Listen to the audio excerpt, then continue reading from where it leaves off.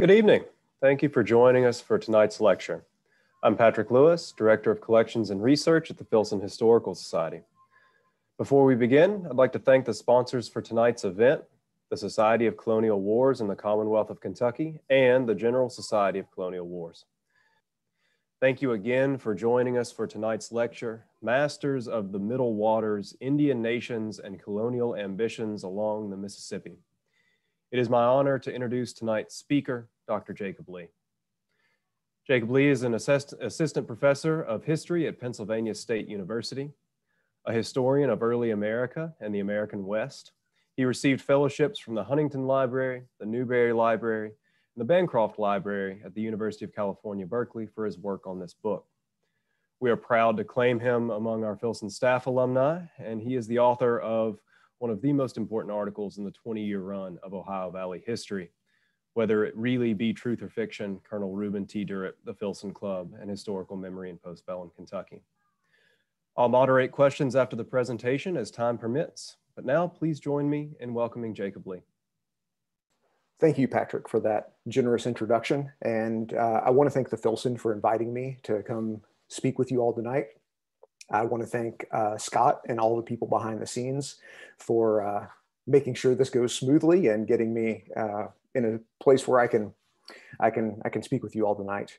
Um, and uh, as Patrick mentioned, I um, I did spend you know five years at the at the Filson working in special collections, and uh, that makes tonight um, particularly exciting for me. It's a, it's a real pleasure to be back.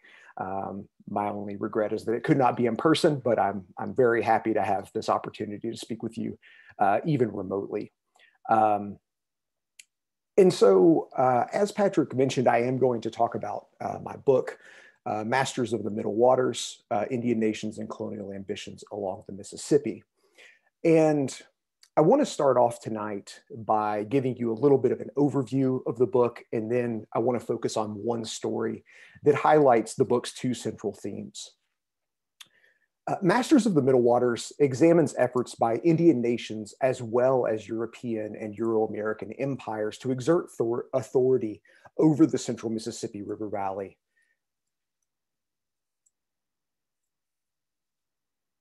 There we are. Um, in, in the central Mississippi River Valley is the confluence of many of the continent's largest and most important rivers. Uh, they're a defining part of the landscape and a key part of my research. Uh, the Mississippi, of course, but also the Missouri and the Ohio flow into the uh, Mississippi there, and the Illinois, Wabash, Tennessee, and Cumberland rivers are all nearby.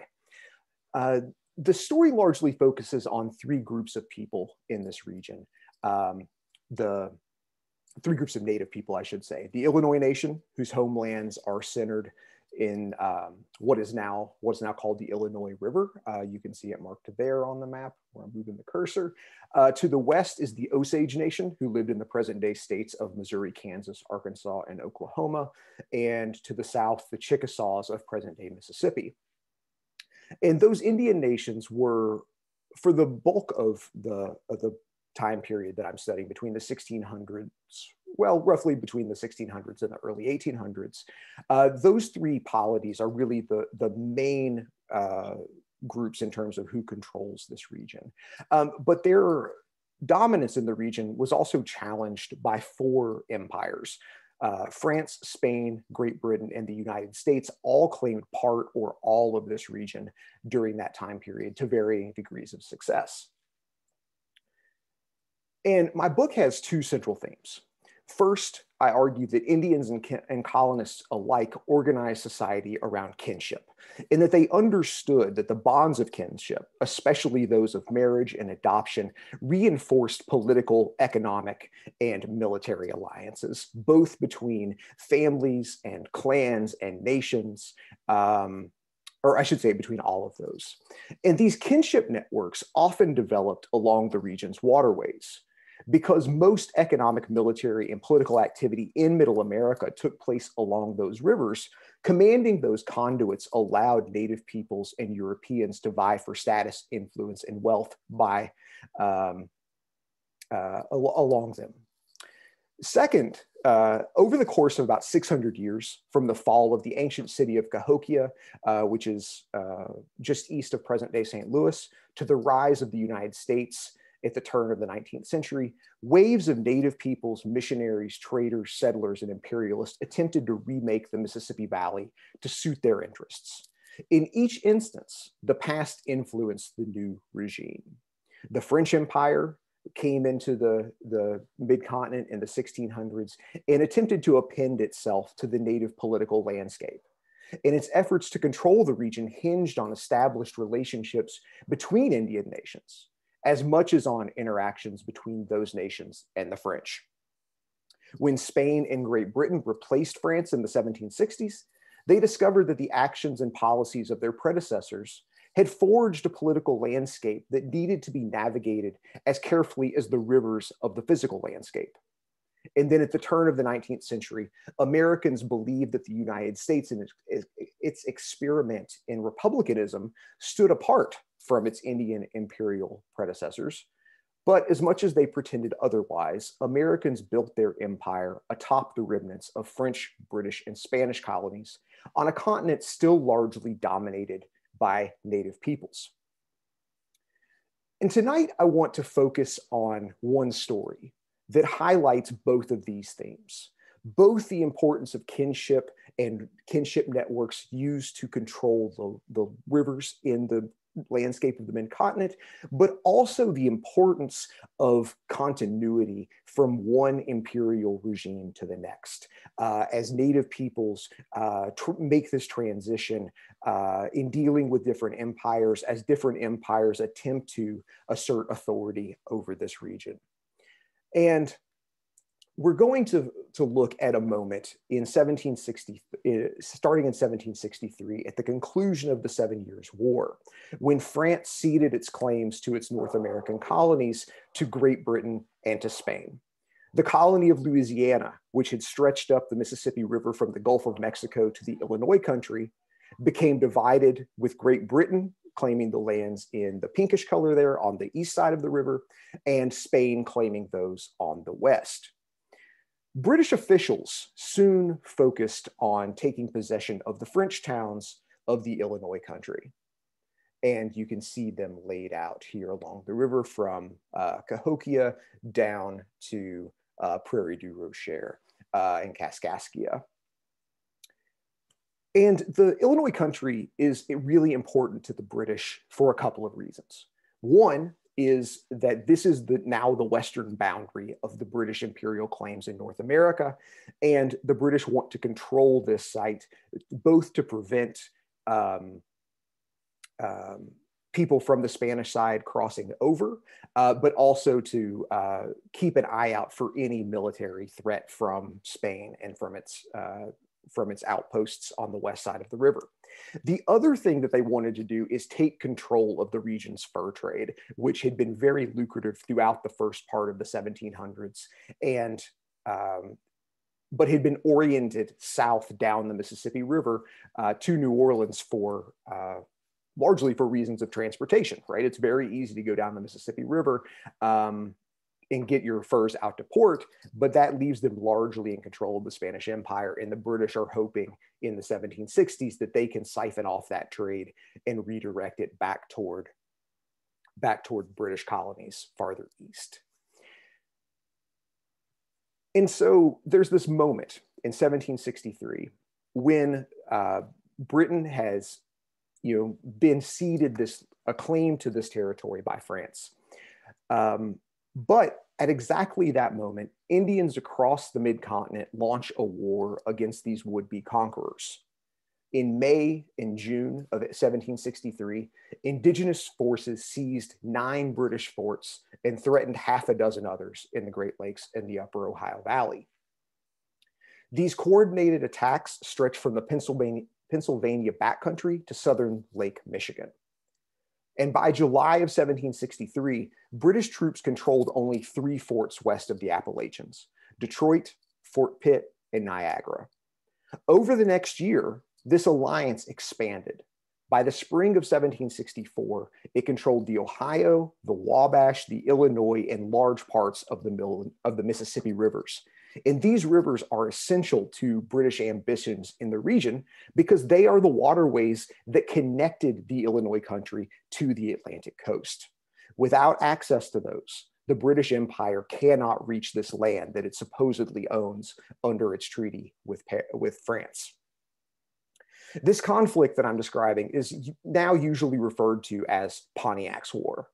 It's named after an Ottawa war chief uh, named Pontiac, and he is the man that British observers largely credit with leading this alliance. Now, this, um, th this moment catches the British off guard. The British come out of the Seven Years' War uh, this long conflict with France that is really um, in North America is just one part of a, of a global conflict that stretches to Europe and as far away as India. Um, but they come out of this war victorious. France has left North America. France has given up its claims. And British uh, officials in North America and in Great Britain see this as a, a, an incredible victory. And they think that they have defeated both France and the native peoples of North America. And this turns out very much to not be the case. And so British officials are struggling to figure out what has happened in the summer of 1763. This, again, comes as a great surprise that they have lost the vast majority of their forts west of the Appalachian Mountains.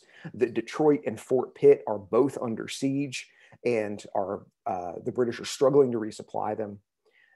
And the British soon focus on Pontiac as the alliance's key leader.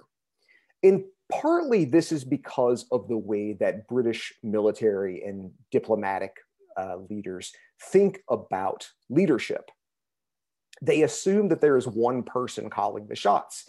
They assume that there is one person directing all of the action, and that uh, it is a you know if you think about the the British military, it's very of course top down. You know, you say you know this is what's happening, and then people have to do that, and that's not how authority works in Native communities. That's not how Native peoples build alliances.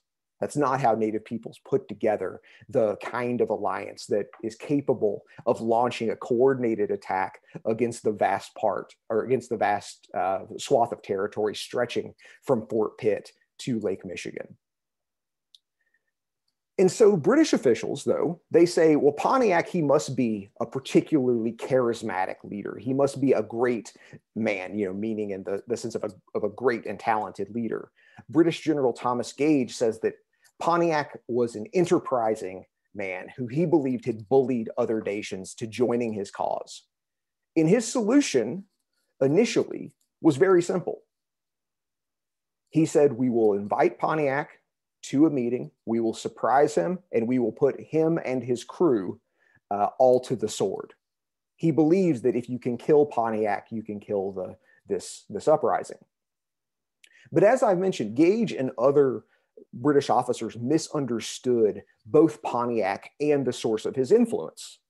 First, the British overstated Pontiac's role as a central leader. He was one of many chiefs, men of one of many warriors whose influence united the nativists. And just as importantly, as, as we'll talk about more in just a second, is that his influence depends upon kinship ties, which also means that the networks that he is drawing on are of both men and women, right? That, that this is not uh, a system of influence and power that is based on male solely on male military might. It's also based on who you're related to who are you married to who do you have alliances with who are you uh, who trusts you enough to launch this kind of, a, of war? And this is the key thing about pontiac is that he is important but it's not because of his personal charisma or because of his personal uh, skill. It is largely because he has kinship ties throughout the great lakes and the illinois country so, who was Pontiac? Pontiac was an Ottawa man who rose to prominence as a war leader during the Seven Years' War. Uh, during his time, in which he mostly spent in the upper Ohio Valley during the conflict in the 1750s and 1760s, he developed close relations with Delaware and Shawnee Indians who were fighting the British settlers who had invaded their homelands in present day Pennsylvania. And sometime during this period, um, Pontiac meets a Delaware prophet, a Delaware religious leader named Neolin. And Neolin is, he carries a, a, relatively new message, one that started to develop in the 1730s, but then really comes into fruition at the end of the 1750s with uh, Neolin and a handful of other prophets carrying the message. And Neolin's, uh, Neolin's preaching focused on two things. One is separating from Europeans. He saw Europeans as dangerous. He saw their influence as malicious and malignant. And he wanted native peoples to stop trading with Europeans. He wanted native peoples to largely cut themselves off from uh, European influence. And the second thing that he advocated was forging a new unity among the diverse nations of Eastern North America. One thing that we have to keep in mind is that there is no identity of Native American or Indian in this time period. Native peoples understand themselves to be members of clans, to be members of Indian nations, of individual nations, but they don't have uh, a an identity as Indians. And this is something that Neolin is consciously trying to create. And so in this moment, we also start to see lots of rhetoric about unity among the quote unquote red men, um, spoken by people like Neolin and people like Pontiac. And, and it's important to understand that this is a huge shift. This is asking people to take on a new identity, unlike anything that they had seen before because it is asking people to understand that they're connected not based on their their direct family ties or the membership in, in an indian nation but that they have this broader pan-indian identity. And neolin uh, begins to attract significant numbers of delaware and shawnee followers in the late 1750s and into the early 1760s, in large part because those nations had had a significant um, a significant experience with Europeans and particularly with dispossession by the English. Uh, a series of treaties which Delawares and Shawnees disputed in the 1730s and 1740s led to antagonisms between them and the colony of Pennsylvania. And because of that dispossession, because of the negative influence uh, and negative effects, I should say, of, of, colonization in Pennsylvania, they are willing to uh, accept this new message as part of a strategy of resistance. And Pontiac also takes up this message. And no later than 1762, he begins, he begins spreading Neolin's message uh, from its, its roots in kind of Western Pennsylvania in Eastern Ohio to his relatives in the Great Lakes. Um, Ojibways uh, on Lake Huron and Potawatomis on uh, Lake Michigan, and he also begins spreading it down the Wabash River to members of the Miami Nation, uh, the Miamis, the Weas, Piankeshaws, and the Kickapoos, who are closely aligned with the Weas. In this coalition of Shawnees, of Delawares, of Ottawas, Ojibways, Potawatomis, and Miamis is really the core of the alliance that launches the war in uh, against Great Britain in 1763. And I want to highlight um, just really quick something important about the way this is stretching along the waterways of Middle America. Because the Shawnees and Delawares are close to the headwaters of the, um, of the Ohio River, and they are downstream from Fort Pitt, which is the, as you may recall, is the last British fort still standing in the Ohio River Valley. And then you have Detroit uh, farther north. The other waterway that is really important that uh, Pontiac and his alliance now control is the Wabash River, which is one of the primary waterways that connects the Great Lakes to the Mississippi River Valley. Uh, coming out of Lake Erie, there is a river that flows uh, west, or actually it flows east into the river, but you can follow it west uh, to near present day Fort Wayne. You take a short portage, uh, just a few miles into the Wabash River Valley, and then you can go all the way down to the Ohio River at present day Vincennes, which then takes you to the Mississippi. And so this is a crucial waterway uh, for communication between the Mississippi River Valley and the Great Lakes. And now Native peoples, Miami's in particular, allied with Pontiac, control that. And so there's a there's a a, a, geographical thinking going on with the alliance building here that Pontiac and his allies are cutting off any additional British access to the interior of the, of the continent. And this is, this is where things stand at the end of 1763. Pontiac and his allies have driven significant numbers of, um, uh, of have taken control of significant numbers of British forts. There are some left standing, but then this war turns into a stalemate in that winter of 1763, 1764. Pontiac and his allies could not take the last remaining forts, but neither could the British move beyond them. And Pontiac in this moment looks to expand his alliance and he looks toward the Illinois country. He, he sees this as he sees the Illinois Indians as a potential ally. And at first glance, Illinois Indians seemed an unlikely ally. And, and they seem unlikely for two reasons. One is that unlike Shawnees and Delawares, the Illinois Indians and other nations in the Mississippi Valley had not yet lost most of their land to settler colonialism. And prior to 1763, they had pretty limited contact with the British more generally.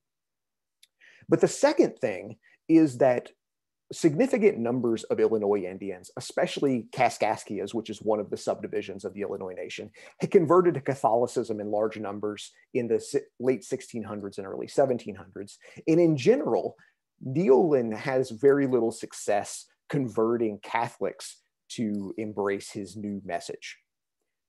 And so initially, we think historians have thought that, that the Illinois Indians had little use for Neolin, and, and for Pontiac based on the reaction of Catholic Indians uh, elsewhere in the Great Lakes.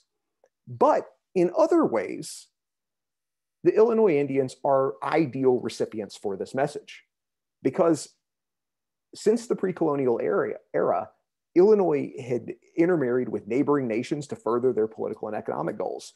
They had uh, intermarried uh, Piankish, with Piankeshaws, Miamis, Weas, Kickapoos, Missourias, and Osages. And during the 17th century, Illinois nation, the Illinois traded with all of those nations. And beginning late in the 1600s, those nations all fought together against Fox Indians uh, west of Lake Michigan and Chickasaw Indians in present day Mississippi. And so the, there's a really strong history uh, among the Illinois nation of building this kind of multi ethnic alliance. And so in April of 1764, Pontiac goes to the Illinois country, intending to draw on this history and to convince the Illinois and their allies to join the war against the British. And Pontiac has, uh, has an advantage in this because he has married an Illinois woman. In later years, uh, British reports document Pontiac regularly traveling along the Wabash River between his home in Detroit and his wife's family in the Illinois country. And so by April of 1764, he may have already been a familiar face among the Illinois, and his familial ties may have served as a key, um, key selling point to these allies who otherwise would have been uh, reluctant to join him. And these kinship ties, uh, I think, are, are, a, are, crucial thing to understand about Pontiac's influence in his, in his uh, success in extending his, his alliance in the spring of 1764. Uh, so the we also need to keep in mind that there's another source of influence here, or there's there's another group of people trying to exert influence here, and that is the French, because despite the fact that the uh, Treaty of Paris was signed in 1763. The British still have not been able to go to the Illinois country to take formal possession of this region from the French. And so the French uh, military officers from the last years of the Seven Years' War are still in, um, still in the Illinois country at Fort de Chartres. And Pierre Joseph Neyon de Villiers, who's the French commandant in the Illinois country, he is desperately trying to convince the Illinois Indians and other nations in the region to reject Pontiac and to reject Neolin's message. He says uh, repeatedly throughout this time that he's writing to these nations, he's speaking with their leaders and trying to get them to stay at peace. Because the French want to fulfill the terms of their treaty. They are ready to abandon uh, their colonies, they're ready to abandon their forts, hand it over to the British, and go somewhere else. And so the, the British think that the French are helping people like Pontiac when actually they are urging them to seek peace.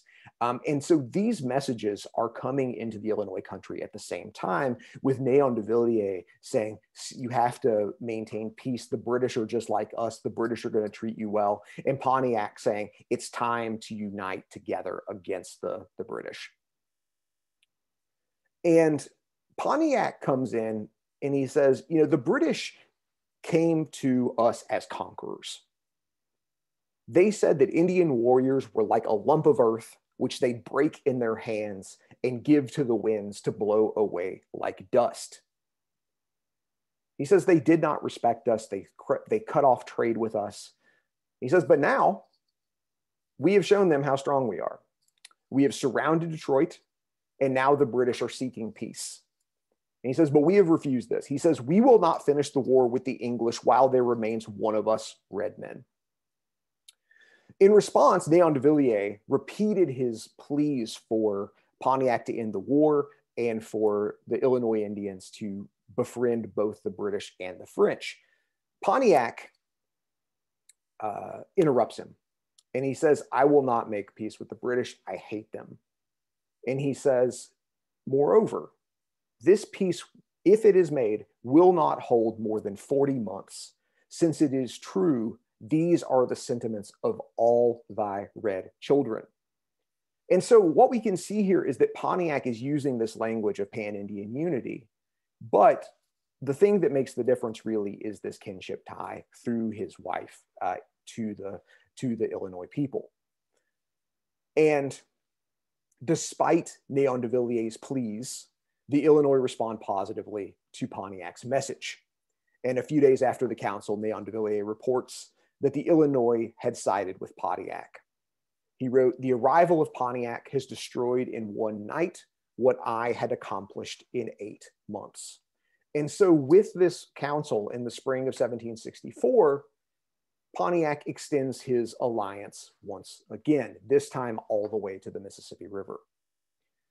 And this is an important turning point uh, for the expansion of Pontiac's alliance because it gives the, this alliance a foothold on the Mississippi, but more importantly, it opens up a whole new set of alliance networks for uh, Pontiac to um, spread his message along.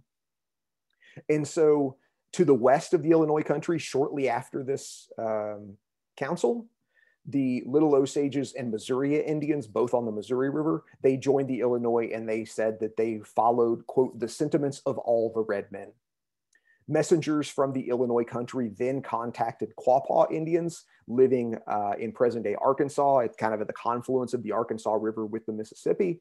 And Quapaws then contacted Tunica, Ofogoula, and Avoyelles Indians uh, down near uh, present day Louisiana. And so by the winter of 1764, Pontiac had utilized kinship ties to build a sprawling anti colonial alliance throughout the waterways of Middle America. And by controlling the Mississippi and Ohio rivers, he and his allies commanded the routes to the Illinois country. The British are unable to take possession of this part of their of what they believe is their empire. So I want to pause here and turn to what the British are doing in this moment. Because the British are still confident in their military might. They are still uh, assured that this is not a real threat, that they can send armies into the mid continent, they can defeat Pontiac and his allies and take possession of this part of their empire. And in 1763, General Jeffrey Amherst, one of the most arrogant people in the history of North America, determines to bludgeon Pontiac's alliance into submission with a two pronged attack. He sends one army into the upper Ohio Valley uh, that he expects will defeat Shawnees and Delawares, and he sends another force of a few hundred soldiers up the Mississippi River from New Orleans toward the Illinois country. Neither of these succeed. Uh, the convoy from New Orleans only makes a couple hundred miles upriver before the southern part of Pontiac's alliance, the Tunicas and Ofogoulas, attack the alliance and force it, or I'm sorry, attack the convoy and force it to turn back. And the um, the uh, campaign into the upper Ohio, Ohio Valley also does not achieve the military success that Amherst predicts. Amherst, however, is not around to see this because he has already been replaced by the British government, who are fed up with him and his mounting failures. And they replace him with General Thomas Gage. And Gage sees the military defeats that Amherst had planned and recognizes that diplomacy will have to be his primary tool. And Gage soon finds entry points and weaknesses in the alliance that Pontiac has built. And he decide, and he figures out ways to exploit these entry points. Because one thing that we need to realize also is that despite their vast reach, the kinship networks that connected the diverse nations of the mid continent were both inclusive and exclusive. And so native peoples like the Illinois, like the Quapaws, for that matter, like the Miamis, are joining Pontiac because of their connections to these other nations who are allied with him or to Pontiac directly. But there are also nations who have been in conflict with the Illinois, with the Miamis, with the Ottawas. Uh, for decades or for centuries, who are not interested in joining this alliance and who actively reject this message. And so, one thing that I want us to, to keep in mind is that even though Neolin and Pontiac are talking about all Native peoples joining together, in reality, what is happening is that Pontiac is uniting groups that are already connected by kinship. Uh, more so than he is converting them to this new message, uh, because the, the nations that they don't have the, these ties with do not join. And so to the west of Lake Michigan, we could talk about Fox and Sauk Indians who had been at war with uh, Ottawas and Ottawa, Ojibways and Potawatomis uh, for decades. And their deepest animosity, though, is for the Illinois Indians. During the 1760s, the Sauk war chief said that they were at perpetual war with the Illinois and that that war would endure as long as the sun, moon, and stars. He said that this nation cannot make peace with the Illinois. His nation could not make peace with the Illinois. He said, For was it possible our bones should beat after death? They would fight together till they would be broke to pieces. And so Sauks and Foxes are not interested in joining Pontiac's coalition, especially not once the Illinois join. And um, instead, they go to Thomas Gage and say, We're resolved to remain always in your interest and die with you. And Sauk and Fox Indians help a, a small garrison of British soldiers evacuate uh, their fort at Green Bay at the beginning of Pontiac's War. And so there are Native peoples who are not interested in joining this alliance, and they see their interests best served by aiding the British. The same thing is true south of the Ohio River, where Chickasaws and Cherokees had been at war with the uh, Ottawas and Miamis and Illinois also for decades and there's they don't see any common cause with Pontiac or with Neolin, and so the British focus their efforts in part on these nations that they understand are already antagonistic to Pontiac and to the nations that he has gathered in this coalition. Now, Gage also turns away from the military to the British Indian Department, uh, which is the imperial office responsible for negotiating with Indian nations. The Indian Department was led in the north by Sir William Johnson and in the south by John Stuart. And both of these men have their own kinship ties to Native communities.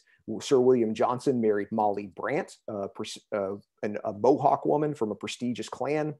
Um, Mohawks are part of the Iroquois Confederacy. Uh, John Stuart married Susanna Emery, a Cherokee woman. And so both of them have kinship ties with nations that they can draw on uh, in service of the British Empire. And they also hire men who, in the words of one of their subordinates, were well acquainted with the Indians' custom, manners, and policies. And in the North, which is where I want to focus more of our time for the next few minutes, uh, Sir William Johnson relies, and then by extension, Thomas Gage, rely heavily on an Irish born fur trader and diplomat named George Croghan. And George Croghan um, had strong connections to Shawnees and Delawares. He had traded with them as far back as the 1740s. And Gage wants Croghan to re- revitalize these connections. And he wants Croghan to go west and to promise good trade with the English. He wants to uh, promise them peace, that they're not going to seek more land from these uh, nations. And he also, in particular, wants him to highlight that in 1763, King George III had banned Anglo settlement west of the Appalachian Mountains. And I want to take a couple minutes to look at the instructions that Gage writes about this mission. And so he says, Mr. Croghan will prevail upon some of the principal chiefs of the Shawnees and Delawares to go with you to the Illinois, to inform those nations, as well as others whom you may pass, that the English have made peace with them and all the other nations with whom they were at war. So again, thinking geographically, let's, you know, the Shawnees and Delawares are up here on the up in the upper Ohio Valley.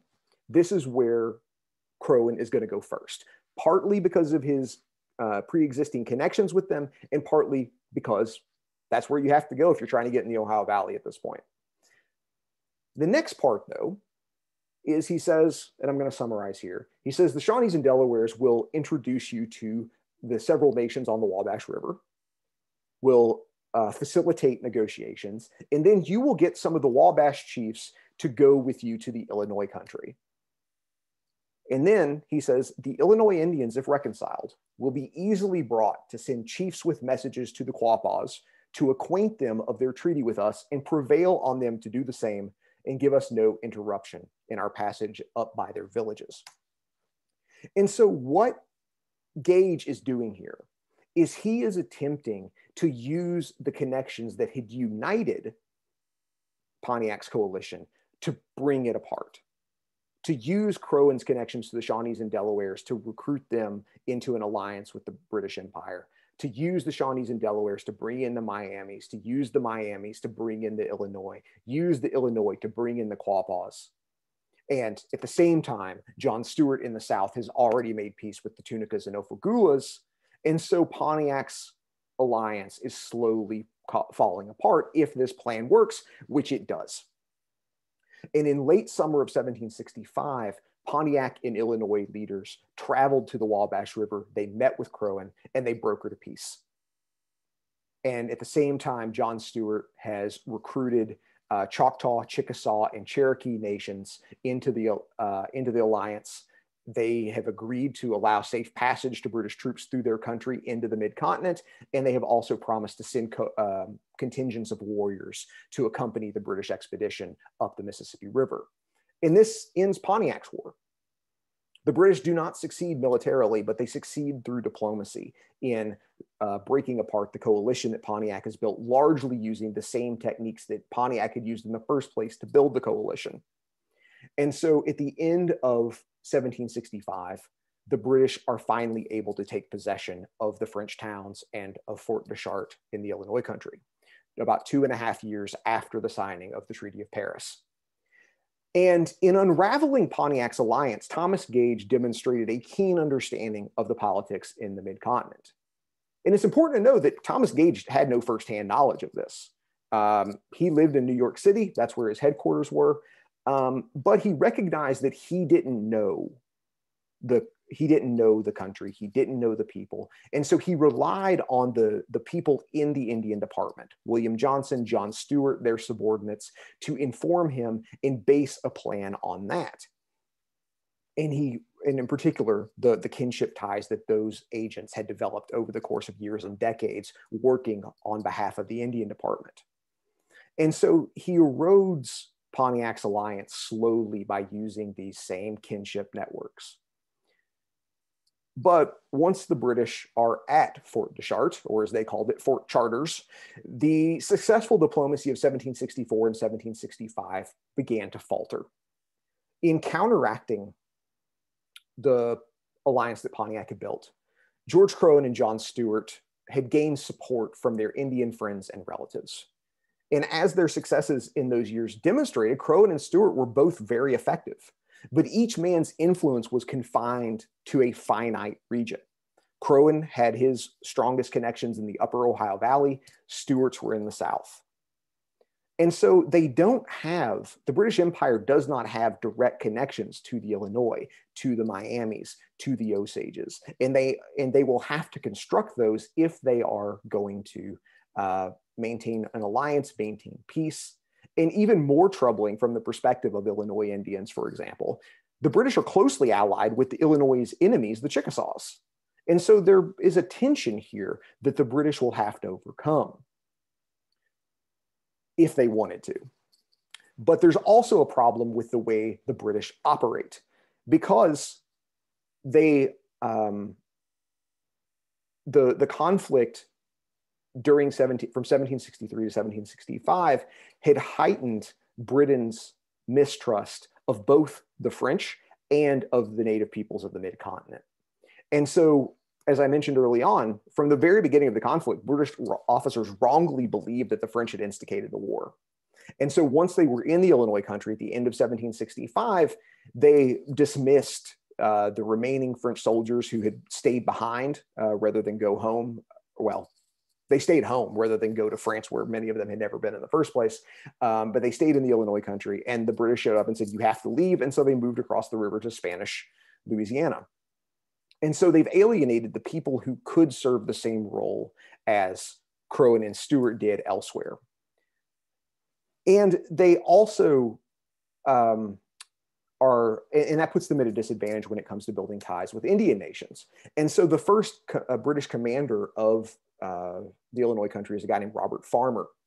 And as one of his fellow officers said at the, be- at the beginning of his uh, tenure, he says, he is himself a good deal a stranger, seemingly, to the laws, customs, and disposition of the French, and he and every person with him entirely so to dealing with Indians. And so they have deployed someone who, as it says, also can't communicate in French, uh, does not have a, an interpreter to make himself understood to the native peoples of the region, and doesn't really know what he's doing. And this really sets the tone for much of what follows. The British ambitions for the Illinois country never succeed on the level that they hope. They had alienated both native peoples and the remaining French colonists uh, in the Illinois country. They never get a foothold in the fur trade, which remains firmly in French and native hands. And by 1768, Thomas Gage had all but given up on the region. He writes uh, during that time period the Illinois has been a gulf that has swallowed up everything and returned nothing back. In 1772, he orders that Fort de Chartres be abandoned and destroyed. And other than a small force at Kaskaskia, the British retreated to Fort Pitt. And so, just to just to highlight some some key themes again here is that I think that the story of Pontiac's War, both its early successes and its eventual end, are the story of the power of kinship-based alliance networks to control vast swaths of territory. Pontiac and his allies built a vast alliance that prevented the British from taking possession of the region for more than two years. And they did so using kinship ties, using uh, you know these intermarried nations that had been allied for decades and centuries. But the complex nature of those ties also allowed British diplomats to draw on their own networks to chip away at Pontiac's influence and eventually for British forces to reach the Illinois country.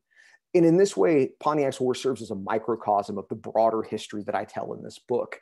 Over many centuries, ambitious individuals, families, and nations are all using these strategies of alliance building through kinship, of trying to control the waterways, all as avenues to gain wealth and power. So thank you for your time, and uh, we'll, uh, we'll, we'll pause there. Well, thank you so much for uh, for that really fantastic presentation. I, for one, really enjoyed the maps. I love seeing those networks as they extended out um, and and went down the uh, the river. We have a lot of really excellent questions. I would remind everyone, please do put them in the chat. You can also put them into the Facebook Live, and we'll get them into the chat so that I can see them, and hopefully we'll be able to answer um, quite a few. I know we have had a few um, this being a, a, primarily Louisville audience about the the Croghan family and eventually that that branch of the family that ends up at Locust Grove. Can you describe those connections? So this is this is an, an interesting question. Is in that I'm not sure exactly how they are linked. Um, it, you know, in, in terms of more direct rays, like hmm. there family connection. I you know like an uncle or nephew or something but it doesn't but it doesn't seem like um it doesn't seem like there is a, a, a long-standing influence in mm. the in the way that um, you might like to see. And, and if you're if you're you know kind of trying to connect this to the later history of kentucky. Yeah and I so think... and and so i know that william croghan is a um, you know is a like a ward or something of George Croghan in, the, in this uh, in this moment. Um, but by the time he's in Kentucky, you know, Croghan dies. I want to George Croghan dies in like 1760. No, he dies shortly after the Revolution, um, in in I believe. And so there's not the. Um, um, so by the time uh, William Croghan is out here, like the, the connection is not very very strong. But mm. but yeah, there is that early family connection. Um, in the in the 50s 60s around there. Yeah. Okay. Fantastic. I, I was wondering too we got a really great question here about um, you know, we, we have this sort of understand this general understanding that a lot of these colonial officers, particularly military officers, are uh, sort of deeply invested in land speculation um, out here. Uh, and we know that certainly to be the case, um, you know, once the, the U.S. becomes involved after the revolution. But does that extend back into this this period of, of British colonial takeover? For sure, for sure. And so the, and so the, you know, a big part of what is driving Shawnee and Delaware willingness to, um, uh, to, to adopt this message that Neolin is, um, is preaching is that they have been dispossessed in part by speculators in things like the walking purchase in the 1730s, where um, Pennsylvania, I mean, basically what happens is that Pennsylvania speculators uh, come up with this treaty that they say the Delaware signed.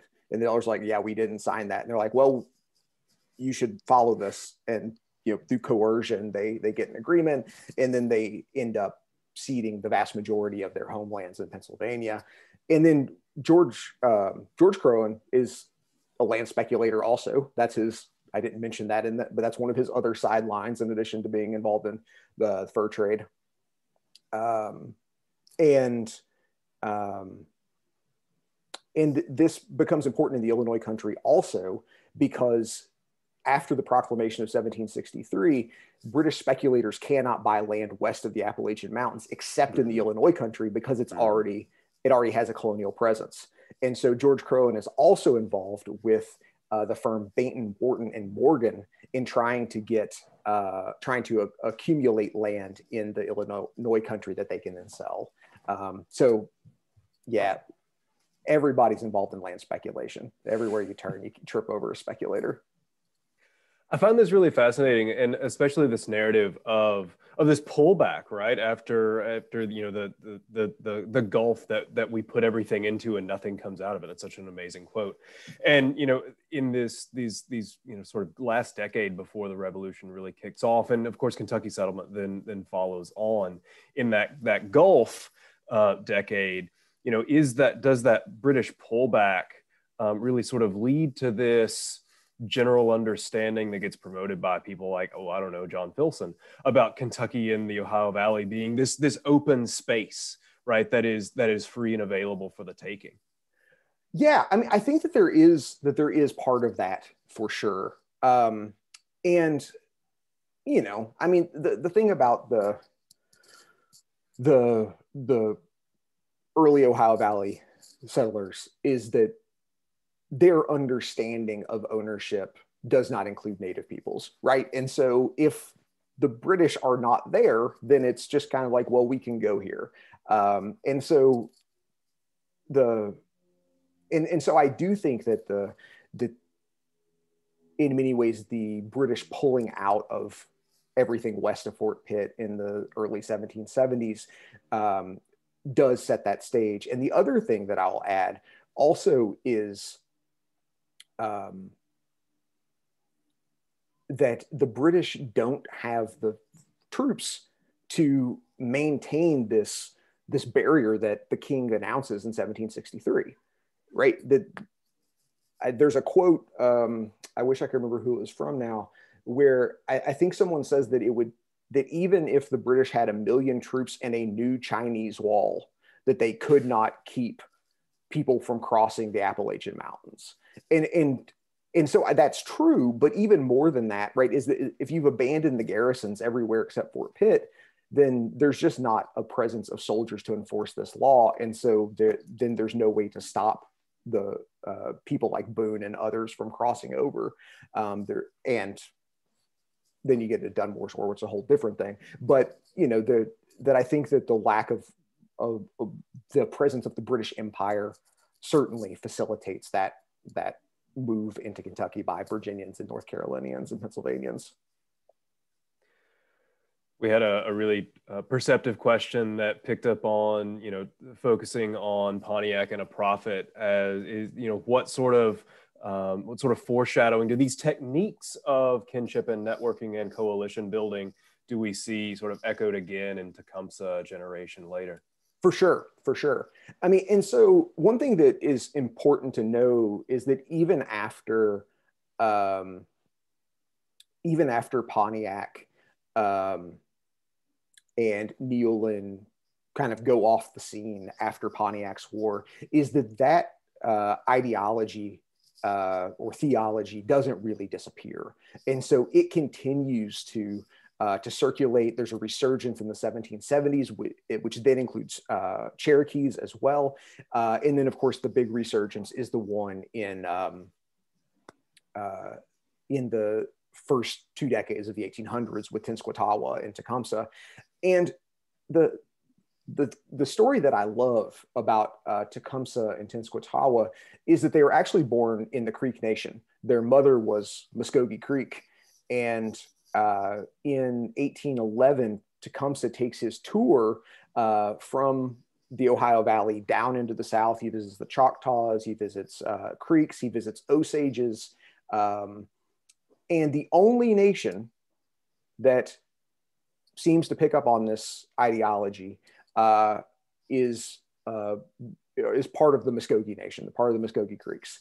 Um, and if I remember correctly, Tecumseh gives his speech to the Muskogee Nation at the village where his mother was born, right? And so there, there's clearly a, a, a kinship connection in that instance as well. The Choctaws are like, yeah, we're not, we're not interested in this. But you have a faction of Creeks who do take up this ideology, uh, which leads to the Red Stick War. Um, that's you know kind of parallel to the War of 1812. We've had a couple of questions, and I really appreciate um, when we get these questions that, that want to know more about um, the archives and, and where you had to go to piece together this narrative and, and what sort of challenges um, you know this sort of research and writing presents. So, you know, I, you know, doing re- doing a research project that involves four different empires is um, it presents it does present some remarkable challenges. Um, and so on the on the positive side, though, is you get to spend time in places like southern France, where the French colonial archives are located. Uh, and so I spent quite a bit of time uh, one summer going through the through the records there. Um, um, the the British colonial records are a little more dispersed. Um, the the big archive that I used for those is actually in the um, uh, is at the University of Michigan. That's where Thomas Gage's papers are. Um, but but part of what I'm I, I have to do here is is I'm going through these colonial records is that there, you know, no very rarely do people come out and say this is happening because these two people are related right? Usually what's happened is they'll talk about the the you know they'll talk about native peoples doing different things and then you only slowly begin to piece together oh this person they're talking about over here is the brother of this person this person is married to this person. And so the the way that i learned that uh, pontiac had married an illinois woman for example is that in 1768 he um, gets um, basically interrogated by some British officials uh, who want to know why he's coming to the Illinois country. And he says, I'm, I'm coming to visit my wife's brothers. And that's the only record that Pontiac has this marriage. Uh, and so a lot of it is trying to sift through these uh, documents and trying to figure out, figure out how uh, people are connected. Um, I'll also say that the first part of the book is largely based on archaeology, which is a whole different set of um, uh, set of materials, and and that's and that requires a whole different way of thinking about how to understand connections between communities when what you're using is basically the the things that they discarded, um, using ceramics to understand similarities between um, production styles and those sorts of things. That's that's really fantastic, and and personally for me in reading the book, those were my favorite chapters. They were the ones that really sort of captivated me, and and yeah, um, I would uh, I would remind all of our listeners that we do have uh, a donation link um, in the chat. So if you haven't already and you've appreciated um, what we've had tonight, please go check that out. I'll uh, I'll throw uh, one more uh, Filson centric collection or question to you um, having spent a, a, great deal of time with Colonel Reuben Durrett, um, if he was going to write your book, how would it have been different? um, well, it would have started with Daniel Boone, and uh, rather than in the 1300s, and um, well, maybe no, no Prince I mean, Madoc. Yeah, yeah, it might have might have started with Prince Madoc. Um, I actually, um, uh, I do want to to to give a shout out to to one Filson collection though, um, which, I, I think answers your your previous question a little bit more, um, and um, this also is thanks to Jim Holmberg who directed me to this source. Um, but the other kind of thing that I that I pieced together was um, using a, an account book um, in the Filson's collections that it, it really demonstrated the connections between after the Louisiana Purchase between traders in, and merchants in Louisville with the, the French uh, and Spanish traders in, um, in St. Louis and helped me understand how those economic networks were developing. When really the you know the entry is not like I'm doing this because I'm related to so and so, but it's like oh this person is buying bison hides from this other person, and I can begin to piece together these networks in that way. Um, I don't believe that's the kind of thing that Durrett would write. It'd mostly be about um, Boone and George Rogers Clark and the uh, all of the, the the illustrious figures of Kentucky's past. Absolutely. Well, that's uh, that's a great way to, to end it in uh, in Filson uh, past and and present. Thank you so much for joining us tonight. Um, thank you to all the audiences um, on both Zoom and Facebook for being with us. We had some really great questions tonight, and I really appreciate the uh, the audience engagement. Everybody have a great night. Thanks, everybody.